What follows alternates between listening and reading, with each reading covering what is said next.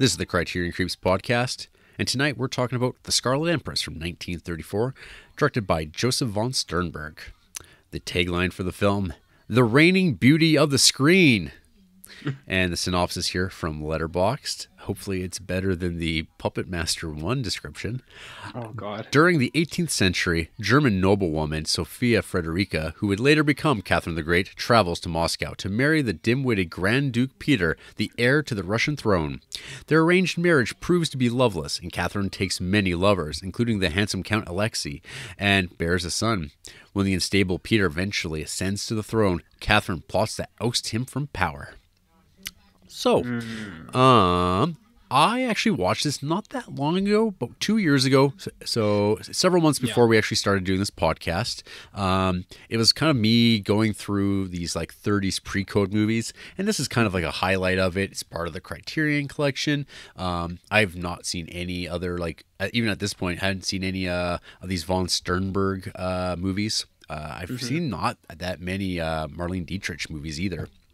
Yeah. Uh, this is their sixth collaboration. Uh, they made a total of seven movies together, and uh, as discussed just a couple weeks ago or something like that, uh, Criterion is actually going to be putting out a box set of uh, all six of their Hollywood collaborations uh, in new restorations, including this. Um, it just doesn't include their first movie they made together, which was made still in Germany, uh, Blue Angel, which I've never actually seen before either. I think Kino's got the rights to that. Um, so my memories of this movie uh, and looking back to my original review of it was this movie has like um, like really amazing production values. It looks great. Um, but other than that, like I just like it didn't connect with me at all. Really, like I, I didn't I I don't know anything about Catherine the Great. I remember doing the unit on like Russian history and uh, maybe junior high, which is a long Yep. time ago. Um, and it It's all like kind of 40 years tho- for you, those, isn't it? Those czars and stuff like that and whatnot. Mhm. Uh, it's all uh, vague to me now. But uh, Yeah. so yeah, I, I went into this like, and this movie really drops you into the story. Like you're just like, hey, the movie's going, and there's a lot of intertitles that Mhm. are not super helpful, and they're I kind of don't like them that much because there's a lot of them, and it feels like there's there'd be better ways to communicate this information. Um, Mhm. But it's kind of treated here as shorthand, and I mean it's still 1934. This whole filmmaking technology thing is a, a work in progress. So I imagine that. Uh, I mean, this is just the way that this movie delivers that information here. Mm-hmm. Uh, but yeah, this movie just kind of lays down the the groundworks of torture and mayhem that are uh, going down here in uh, in Russia Mhm. at the time. Uh, I'd say it's probably my favorite part of the movie because it's just like, oh, there's just there's some breasts here, and, and it reminds you, oh yeah, this movie is uh, pre-code before they were uh, cracking down on this sort of thing. But I'm still still pretty striking. Um, yeah, so watching this movie just like two years later from initially watching it, it all actually seems pretty vague to me. Like it wasn't like a super sharp memory, other than I was kind of just okay with it, kind of indifferent. And on the rewatch, I'm pretty well the same way. I mean, the the biggest thing, and I'm sure we'll talk about it. I think the most memorable aspect of this movie is not uh, Marlene Dietrich. It is, in fact, uh, the Grand Duke Peter, played by uh, Sam Jaffe, uh, who I don't know if you remember uh, his role in uh, The Day That Earth Stood Still.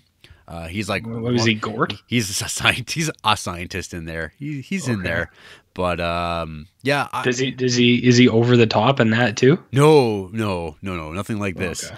Uh, yeah, like that was like my big no about him. Just like he basically plays this like a German silent film villain.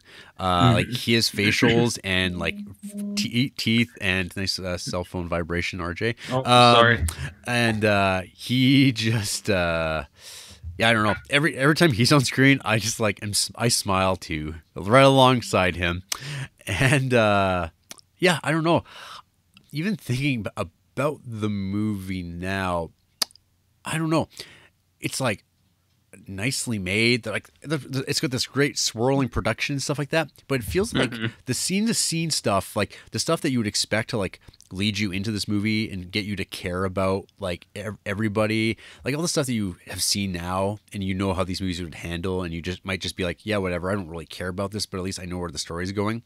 None, mm-hmm. a lot of that's not here, and I feel like this movie is mostly just concerned with like uh, visual stuff actually, which actually makes it kind of unique and kind of interesting in its own right. And I'll, and I'll get more into uh, my feelings on this movie greatly improved after I watched another movie uh, before recording today.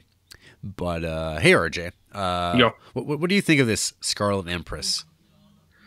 All right. Well, I guess just to get it out of the way, yeah, this movie is old.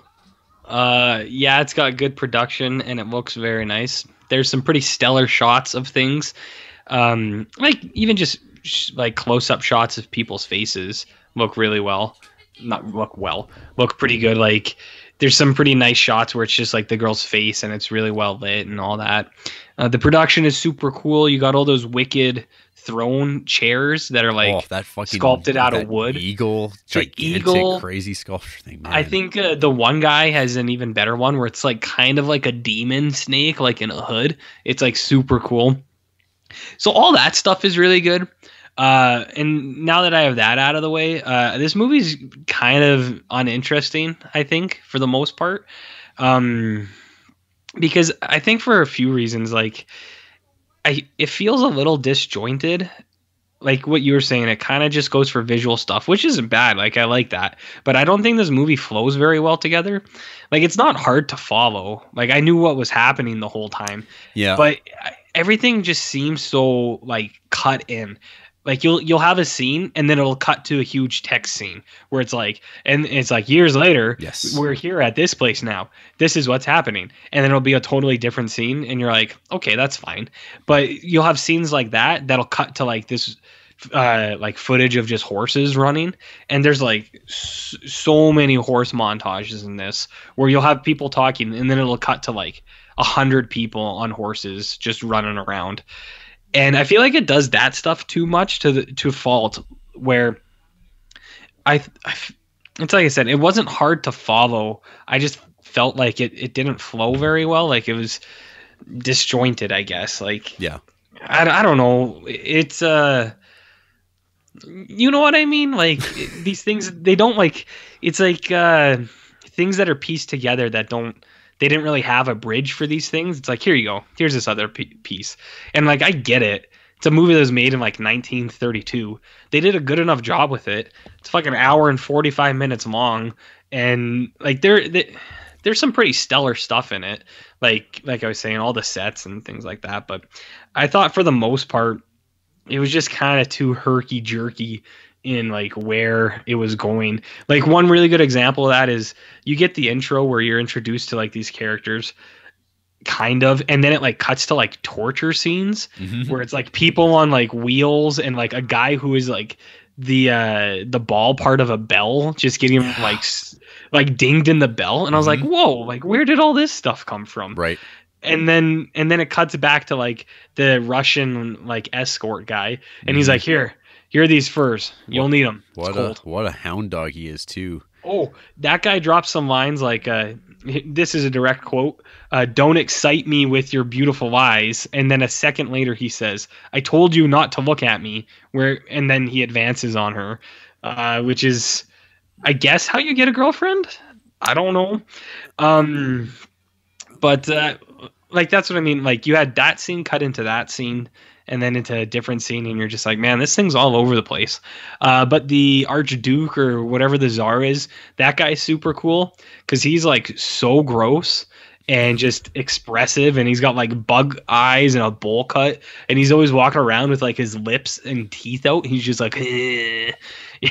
it's like I guess was he a real guy? That's pretty Yeah, funny if he That- that- was th- like this, well, I mean, this is like based on historical fact, and there was indeed a uh, Grand Duke Peter, uh, and and Mhm. Catherine the Great did indeed marry him. Until then, she took power, and became this Yeah. beloved folk hero with uh, with legendarily uh, insatiable sexual appetite. Where Mm-hmm. there was like a legend, uh, and this goes to the whole thing with the horses. Uh, there was a long period of time uh, where the legend is that she died at the age of 67 while being mounted by a horse that she brought into her bedroom. How accurate is that? It's not. Uh, she died of a of a stroke. Um, but Oh. the story was like, well, what caused the stroke? Like that is like legit, like Oh. a thing that's like because she, she just needed horse cock. Hmm. I, I wonder who started that speculation. Uh, probably people who uh, wanted to like destroy her historically. Repu- yeah, Like, I, I, I there- there- yeah, because that was like 1700s, I guess. So, Yeah. uh, yeah, who knows? It's all it's like Rasputin. Like, there's all Well, sorts of like crazy stuff. It's it is what it is, RJ. You- Yep. you can't judge. You know, and I, I hope in like 30 years when you're long dead, that uh, people uh, I'm still around to start these rumors. You know how he really died. you know what really s- caused that stroke.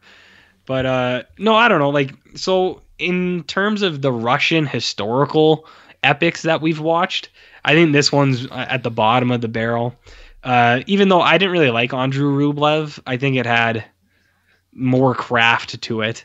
And uh, what was it, Andrei Tarkovsky or not? Tar- what was the other ones we watched? No, you're thinking of Alexander Nevsky was the Alexan- that's so, yeah. so, so that's the That's the good that- one. That's the good one. Yeah, that's like Yeah. the, the Eisenstein. Yeah, there's like the Eis. Well, that's like The Eisensteins. The Eisensteins, like yeah, the Ivan the Terribles, like which this like totally put me in the mind of. Um, Yeah. yeah, because it's like the same. I'm not It's even sure. Russian Like historical. yeah, Russian historical Epic. stuff. Uh, and at least like both these movies, uh, like I'd say between the terrible uh, Ivan the Terribles and uh, Mm-hmm. this, like they they nail that uh, Byzantine look. Like the production Oh, yeah. and scale of these movies are amazing. And I've got a, a movie I'll have to talk about uh, afterwards that I watched that like really put things into context of like how bland movies could actually be and kind of like how why people talk about this movie in high regard even though like i'm totally still on the same page with you that like narratively i think this is kind of uh not an interesting movie i would say at least to me mm-hmm. and i guess to you as well um Yeah. there's just like these moments that are kind of neat but like on the whole like even at an hour 44 minutes i'm pretty sure that like i checked the time on this like the same time at the exact same moments almost as the first second time because i was like oh good there's only 20 minutes left oh good there's like i remember that vividly kind of being like oh great Yeah. it's, it's about to wrap up but i was just like kind of checked out at that point like not really Yeah. engaged with this type of story and like i said i don't ha- i don't know anything of, of the story and nothing about the movie draw brought me into the, caring about any of the characters. They all seem very like formulaic kind of players in like historical royalty stories. Yeah. Yeah. Yeah, I'm with you, dog. Uh, yeah. So hey, I, I, I, one of the questions I got here, I wrote out was RJ. How do you feel about accents? As in, like when someone plays German, should they be English British? if they are English, or should they adopt a stupid German accent if you're making like a English production, or or just have everyone speak in their uh, actual get people who speak in the native languages and subtitle it, which makes your movie less marketable. It's hard to say. Um, I guess you could go like last week when we were talking about Con Air. You know how Nick Cage has that accent? Yeah. I think that's about the right level that you want. So I guess do the accent. But I Mm, No, uh, I I don't know. I don't know. Yeah, like I mean if you could get That- people well, see that's like so that's that's a different thing though because that's like that, because but- southern people speak english that's just that's an accent like that's just like accented uh, english but not like if you speak a completely different language but you're like i'm going to speak in a german accent it's like oh Yeah. man people shouldn't do that. It just it sounds dumb. It's like why not just like i think in valkyrie uh, the tom cruise movie it's like everyone just Mm-hmm. is like english and they're all german and it's fine. And it's like that's good. Um, you don't need to go in the other direction uh, of like comedy impersonations because then it's like it's another it's another thing the actor has to figure out. And sometimes in these movies it's like inconsistent. And so with this they they don't no one's trying to talk like a russian or a german. They're just being themselves and we get it because movies aren't real. They're they can be stylized and What do you mean movies aren't real? um like like unlike infinity whatever. Um anyway. Yeah. Hmm Uh, so Yeah, yes, I'm with you. Yeah. Uh, we get like so one of the things is like so the movie opens up with young young Catherine the Great, uh, young Sophia. She's a kid, and it's just like her being told stories, and then there's all these tales of torture happening in Russia, and then she's growing up, and now she's been married off in an arranged deal uh, to this guy that she's never met, and the guy who picks her up, she's got eyes for him, and he's got eyes for her, and they just were told, oh hey, we've fallen in love on this several week coach trip back to Russia. hmm And it's just like, oh, I don't buy that, but whatever. That's how movies can sometimes work. Um, and yeah, my complaint at this point, early on even, is like all the expository text titles in this movie. There are a lot. And it's very, like, I mean, it's also like we're not that far removed from the silent era. So I kind of get that the thinking at this time was still like you had to like walk your audience through everything. Um, In 1932, 34.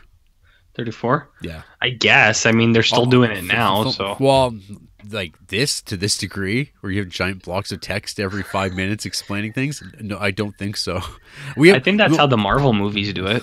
Uh, no, because words are bad. They've learned that people actually don't read. They want things in voiceover, uh, and that's Oh. All. And that, I mean, that really, I always think of like the Lord of the Rings movies. Like the Mm-hmm. you have like you get the female voice telling the whole story, and uh, you just have visuals of it. It's just ex- exposition, but not in a time-consuming thing where people have to read it because it totally slows movies down. Because those things have to sit on the screen for a very long time as people read through things.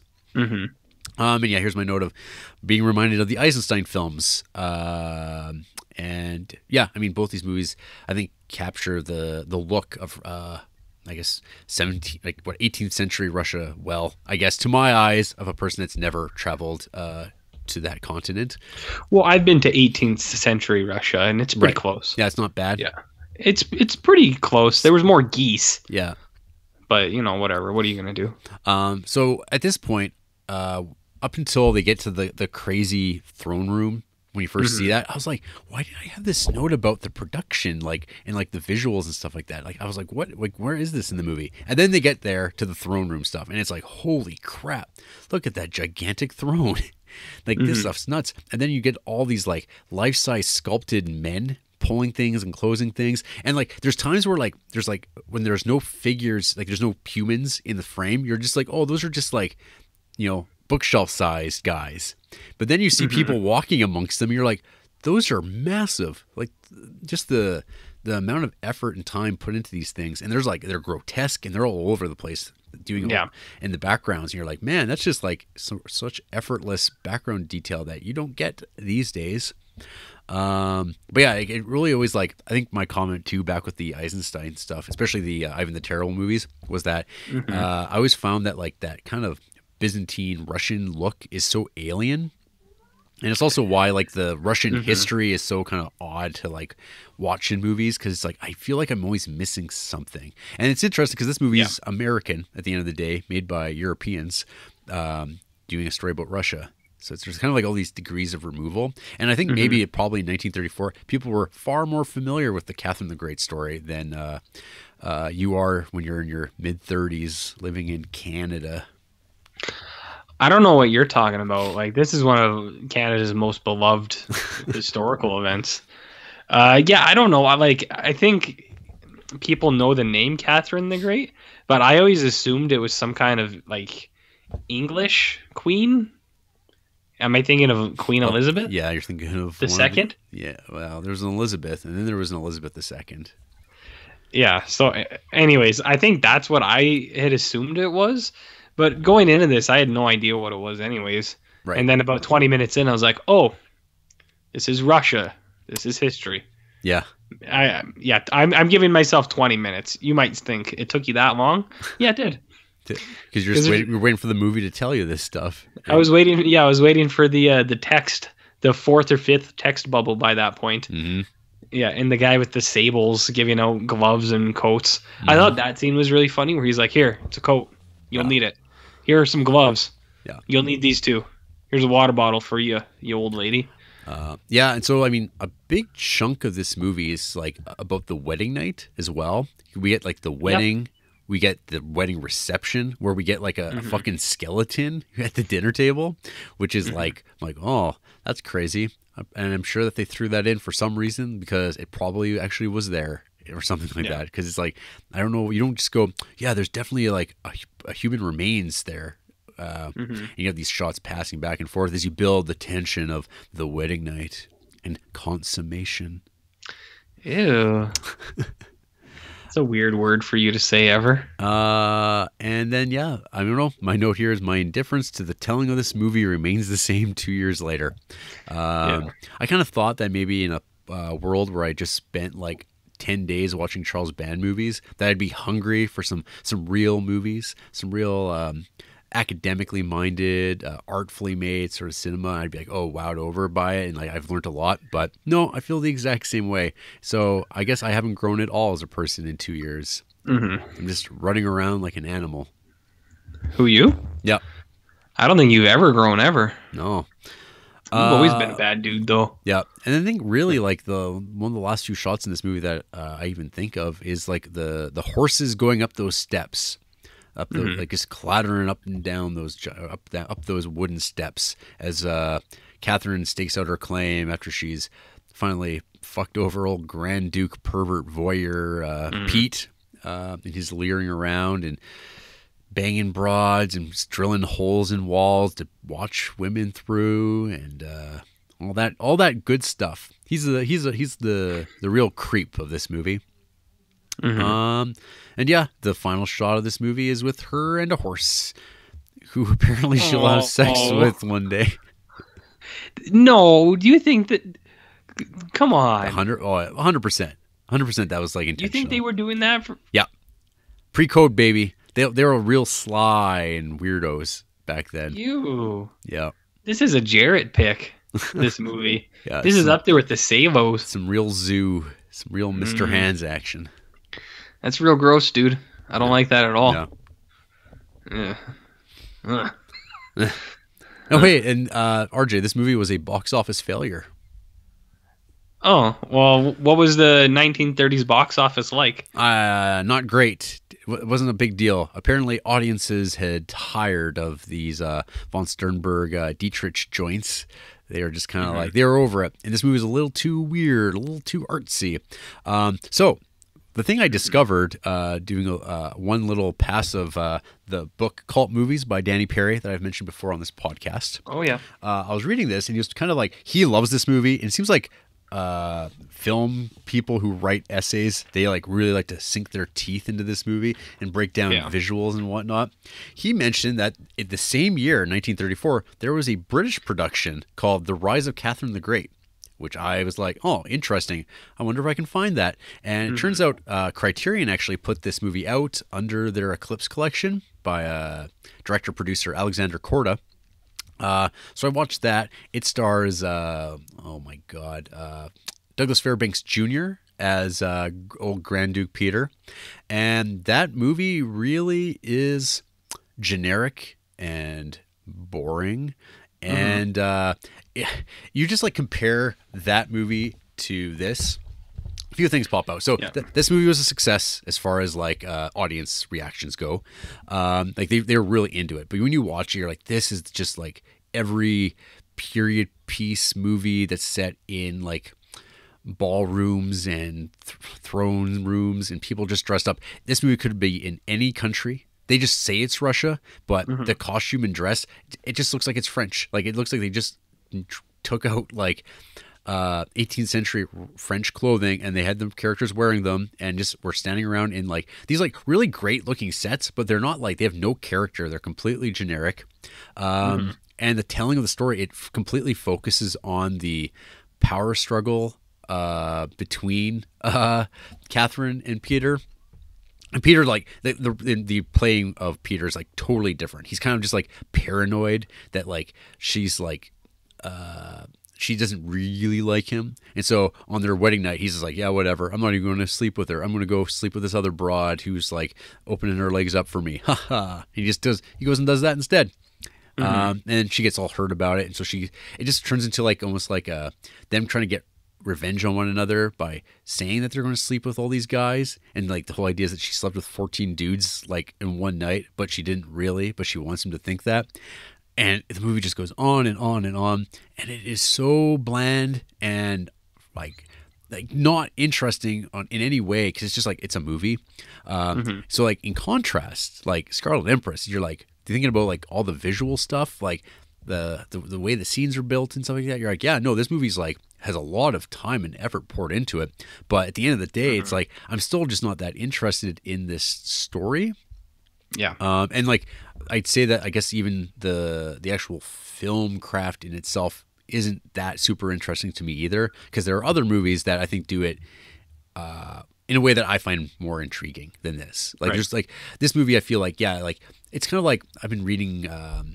God what was it someone on Twitter was mentioning how they watch like a variety of movies and I think they like they do a they do a film podcast and they do teaching as well and then they're critics and talking about how like Citizen Kane, the appeal of Citizen Kane and why its position is like the greatest movie of all time and has this big reputation is because it's a movie that's very teachable. Um, like you can like point to elements of like any element of film, like sound or uh, composition, mise en scène, acting, script writing, and like that movie captures it really well in a very clear way. Um, and I think like when you want to write about movies in a particular way or like have an idea of like the types of movies people pick up on movies such as i think scarlet empress and they go hey i'm going to talk about movies in a, this sort of way. Even though i don't think as mm-hmm. like watchable movies that you're like oh man i threw scarlet empress in tonight. I don't think anyone's doing that at all Some- no one's binging Scarlet so- Empress. but but for some people, for, for the audience of people who are like who like to think about films in this particular way, this movie's totally up their alley, and they like to break. They'll, they'll go back and like they will do a an analysis of it. Um, and I guess like we we should be doing that maybe on a, uh, uh podcast uh, about Criterion Collection stuff, but that was, that was never our mission statement. Uh, that Yeah. our, our, this is the whole thing is to go through this as if it were like a a film education, and I don't know. I, I feel that this movie just kind of That's not what we're about, no, man. But but I did find it super valuable uh, to watch the rise of Catherine the Great and watching like two movies coming out the exact same year about the Mm-hmm. same story and just how completely different they are and just like how one is successful while not being like uh, a great film by any means but like you compare it to another one where you're like this is just like completely nothing like this movie is just Mm-hmm. like no one no one talks about this other than it came in fact that Scarlet Empress exists yeah. yeah I think that's pretty cool that you watched that other one as well, and they I I got these totally different kind of like totally different viewings out of them. I guess. Well, and like I said, like I had no idea this movie existed till I just like Yeah. happened to read this, uh, and I was like, oh shit, and it hit. It's on YouTube, so you can't can't beat that. yeah. Yeah. Exactly.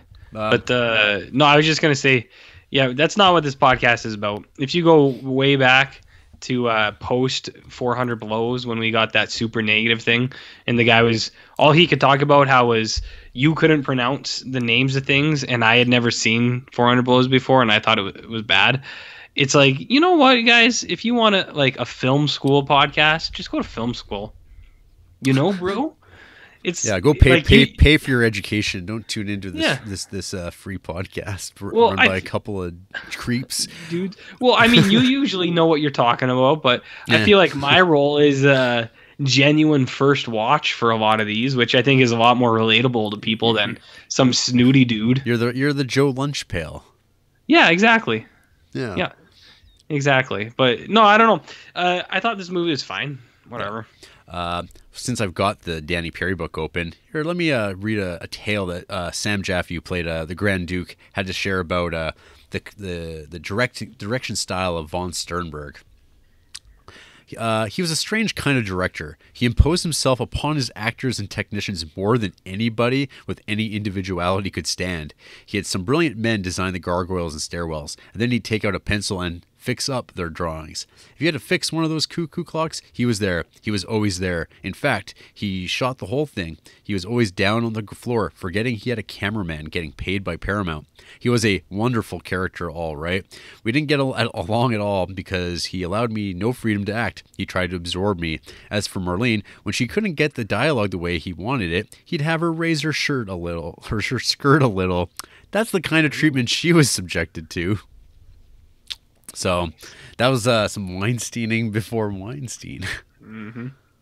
Nice. Yeah, that's how you get a reaction out of me usually RJ, take on the shirts. podcast. It's like, what's that cell phone rumbling about? Lift your shirt, buddy.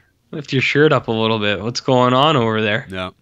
Uh-huh. Um, Yeah. So yeah, I mean, th- this movie too, like it, it compresses like a decade of time, and it just like it's just so shorthand, so much shorthand uh, that I don't think it's like going for historical accuracy, even though like all these costumes and background stuff, like I think that is supposed to be like, oh, they wouldn't have had that and this and this, but then the story is like, who gives a shit? So, it, whatever, it's fine. Yeah. Yeah. Uh, well, RJ, we have a business to attend to, which is who hates the Scarlet Empress? Uh, any does anyone? Some people do. Don Watson, for instance, I think. Dro Watson. Uh, half a star. Ugh, I couldn't watch more than 30 minutes. I mean, it's pretty, as all Sternberg films I've seen, but it just didn't do anything for me. I don't know what the biggest problem was, nor do I care to even contemplate it. I don't care enough. Okay. I don't know what you're yelling at us for. Yeah, so mad, so angry, Dude. so people. Uh, let's hear. Let's open. it. Dro Watson was indeed the name. Uh, opulent film, two stars. What's the deal with all the little gnomes? What? Yep, What gnomes? I don't know. What is this? What what what, what are we doing here? Uh, yeah. Michael May, two stars. Couldn't finish it. It's an impressive spectacle, but is more a series of connected vignettes than a narrative. And I got really tired of Dietrich's playing wide eyed and innocent. I could tell that she was eventually going to move away from that, but I got bored waiting. None of the characters feel genuine. They're just props in a diorama. Not Um, not a crazy take or anything like that. no, but I- don't know. I, I I feel like this is the same thing every week, but it's like the problems people have about stuff, and it's very different from the problems I have on movies. Because usually when I have problems, they're very genuine and they're intelligent and things like that. But the problem yeah, like 400 have, Blows being a bad movie. yeah, that movie stinks, Oh, come on. boring, and it smells like farts. No. Uh, I don't know. People are always just like, meh, meh, meh. whatever. Who cares? None of this matters. We're all gonna be dead. That's right. You know? We're all going to turn to dust. Yeah. Any uh any thoughts left here on the Scarlet Empress RJ? No. it's fine. Whatever. It's not. It's not an all-time banger. I'm not gonna think about this tomorrow or ever again. Or ever again? So whatever. There you go, folks. hmm Uh well, after the break, RJ is going to get perforated by a horse. Ugh.